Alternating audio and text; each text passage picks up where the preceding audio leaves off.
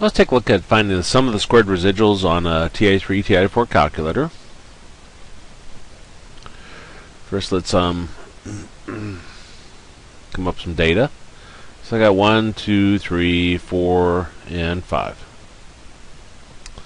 And I don't know, 17, 40, 51, 62, and um, 63. Well, we're going to go put this into L1. We'll put this into L2. So let's do that first. So I'll press my stat button, do enter on edit. I already have numbers here, so I'm going to press delete on them to kind of clean them out. Each time you press delete, it'll delete the whichever one's highlighted. And uh, for L1, we got 1 through 5. So we're going to put our x values in L1. So do 1 enter, 2 enter, 3 enter, 4 enter, 5 enter. Now my right arrow over. And uh, we're going to put our y values in L2. So I got 17 enter, 40 enter, 51 enter, 62 enter, and 63 enter.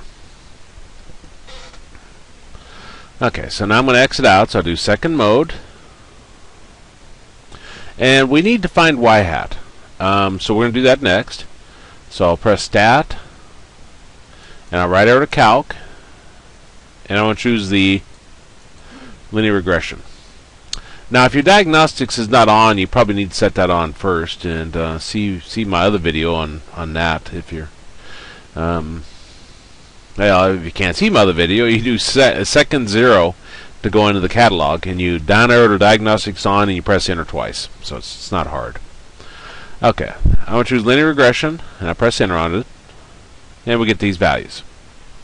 Now y hat, remember, is where we're taking the a and the b you see right here, and we're plugging them into this equation.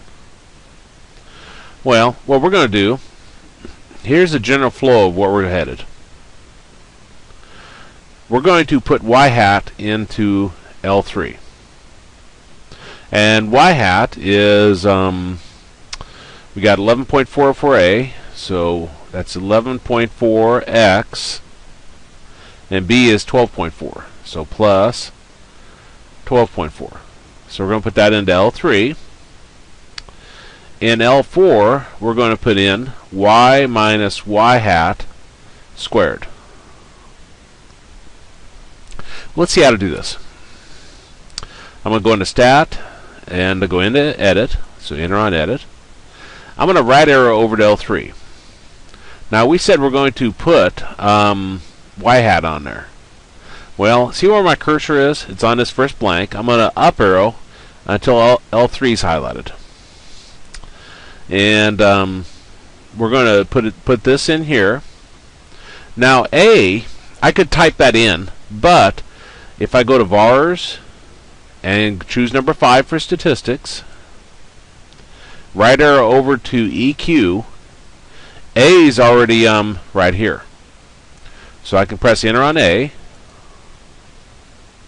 And you see down here at the very bottom it says A. So that's going to be the 11.4. Now X is our L1. That's where we have our X values. So we're going to say times, and then we'll do second 1. Now we want plus this, which is B. So I'm going to say plus and I'll go into my VARs, choose number 5 for statistics, right arrow over to EQ, and I want to choose uh, B. Now see this right here, this is AX plus B, which is what we what we found. What's the benefit of uh, getting A and B that way? Well, if A and B were really long, they weren't in this problem. They were pretty nice, nice and short. But if you got A that has seven or eight digits, then uh, this is a better way to do it. Now when we press enter, what it'll do is it'll calculate. This is our y hat. Now I'm going to right arrow over to L4, and we're going to up arrow and highlight uh, L4 up here.